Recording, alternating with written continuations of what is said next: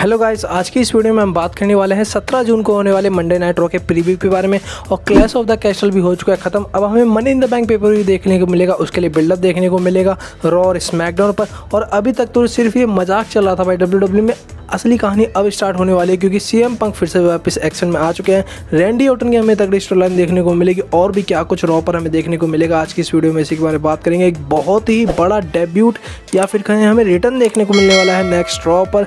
तो यार फिर वीडियो की शुरुआत करते हैं आपके एक लाइक से। तो दोस्तों, इसके आपको पता है रॉ पर भी काफ़ी इंटरेस्टिंग स्टोर लाइन चल रही है। सबसे पहले बात कर लेते हैं, यहाँ पर Raw women's champion Liv Morgan के बारे में। यहाँ पर लिव मॉर्गन ने बैकी लिंच को हराया था और उन्हें ये चैंपियनशिप मिली थी। पर उन्हें चैंपियनशिप से सिर्फ़ शांति नहीं मिली। उन्हें चाहिए डोमिनिक मिस्टीरियो ये लड़की तो बिल्कुल ही पागल है। और हम पिछले कुछ दो तीन रॉ से देख रहे हैं, भाई लिम मॉर्गन डोमिनिक मिस्टीरियो के पीछे पड़ी हैं और उन्होंने का कहना है कि वही रिया रिफली से वो सब कुछ छीनना चाहती हैं, जो भी उनको प्यारा था, पहले चैंपियनशिप अब डोमिनिक मिस्टीरियो तो यहाँ पर हमें एक तगड़ी फ्यूड देखने को मिलेगी, हो सकता है रिया रिफली का भी रिटर्न जल्दी हो। इन द बैंक पेपर से पहले और लिम मॉर्गन के आखिरकार दिमाग में क्या चल रहा है? डब्ल्यू डब्ल्यू इस स्टोर लाइन को कितना और भी ज़्यादा वियर्ड और कितना और भी ज़्यादा रोमांटिक बनाती है, ये तो हमें नेक्स्ट पर क्लियर हो जाएगा। इसके अलावा बात करें intercontinental champion Sami Zayn के बारे में और सैमी जेन ने भाई अपनी चैंपियनशिप डिफेंड कर ली सक्सेसफुली चैट केबल से। और अब यहाँ पर कह सकते हैं कि भाई सैमी जेन और चैट केबल की फ्यूड खत्म कर देनी चाहिए, क्योंकि चैट केबल और सैमी जेन की फ्यूड रेसल मीनिया से भी पहले से चल रही है। दोनों साथ में थे, उसके बाद दोनों एक दूसरे के अगेंस्ट हुए। और यहाँ पर भाई चैट केबल को बहुत बार चैंपियनशिप के मौके मिल चुके हैं।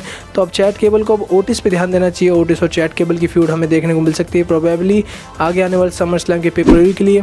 पर सवाल ये उठता है कि भाई इंटर कॉन्टिनेंटल टाइटल पिक्चर में कौन आएगा? तो बहुत सारे नाम हैं रॉ पर भी, जैसे कि ब्रॉन बेकर, रिको शे, उसके अलावा हमें ब्रोन स्टोमन काली तो बहुत सारे सुपरस्टार हैं जो रॉ पर चैलेंज कर सकते हैं, सैमी जेन को। और यहाँ पर हमारे पास एक और चैंपियन है डैमियन प्रीस जिनके पास है भाई वर्ल्ड हेवीवेट चैंपियनशिप और उन्होंने ड्रू मैकेंटायर से अपनी चैंपियनशिप डिफाइन कर ली, और उन्होंने ड्रू मैकेंटायर को साफ़ साफ़ ऑफ़र दिया था चैंपियनशिप के मैच के लिए, पर वो ड्रू मैकेंटायर मैच नहीं जीत पाए, भले ही सी एम पंक की इंटरप्शन की वजह से। तो अब उन्हें दोबारा मौका नहीं मिलेगा, पर डैमिन प्रीस का अगला अपोनेंट कौन होने वाला है, ये हमें नेक्स्ट रॉ पर कुछ कुछ क्लियर हो जाएगा। हो सकता है money in the bank paper भी मिस कर जाएँ, और समर स्लैम के लिए हमें एक बड़ी फ्यूड देखने को मिले डैमिन प्रीस की तो वो किसके साथ होती है?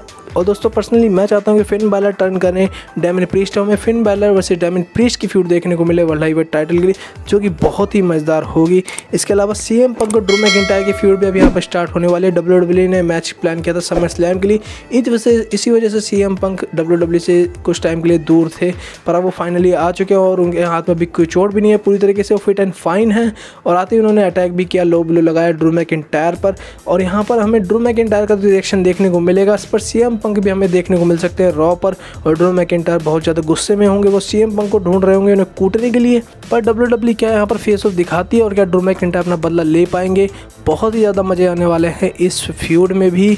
और गाइज़ मैं आपको बता दूँ, एक हमें बहुत बड़ा डेब्यूट देखने को मिलने वाला है। तो आपने देखा होगा स्मैकडाउन और रॉ पर हमें कुछ क्रिप्टिक मैसेज देखने को मिल रहे थे, जो कि बहुत ही बड़े सुपरस्टार के रिटर्न के लिए आयु के डेब्यूट के लिए थे। एक हमें न्यू कैरेक्टर डेब्यूट देखने को मिलने वाला था। और ये पॉसिबल स्पेकुलेशन थी कि ये होगा अंकल हाउडी का, जो कि ब्रे वाइट की फैमिली के ही हैं, ब्रे वाइट तो अभी आ नहीं सकते, पर अंकल हाउडी भाई बहुत ही हमें तगड़े क्रिप्टिक मैसेज देखने को मिले थे, और डब्ल्यू फैंस और बहुत ही ज़्यादा रूमर्स है कि हमें नेक्स्ट शो पर यहाँ पर डेब्यूट देखने को मिलेगा, और यहाँ पर अंकल हाउडी अकेले नहीं है, उनके साथ हमें पूरी टीम देखने को मिल सकती है पॉसिबल यहाँ पर निकी क्रॉस आ सकती हैं एलेक्सा विल इसके तो चांसेस कम हैं, पर अंकल हाउडी जो कि हैं, हमें बोर्ड एलेस देखने को मिलेंगे अंकल हाउडी के रूप में।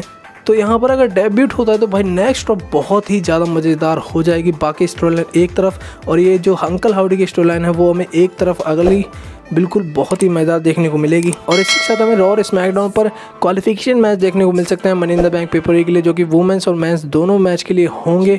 और जो भी जो मैचेस जीतेंगे, वो आगे क्वालिफाई कर जाएँगे men's money in the bank के लिए। छः छः सुपरस्टार होंगे छः मैन छः वुमेंस सुपरस्टार तो गाइज़ आप ज़रूर कमेंट करके बताना कि इस बार मनी इन द बैंक पे paper money in the bank brief कौन जीतेगा? चैनल को सब्सक्राइब ज़रूर कर देना। फिर मिलते हैं नेक्स्ट वीडियो में। ख्याल रखें अपना।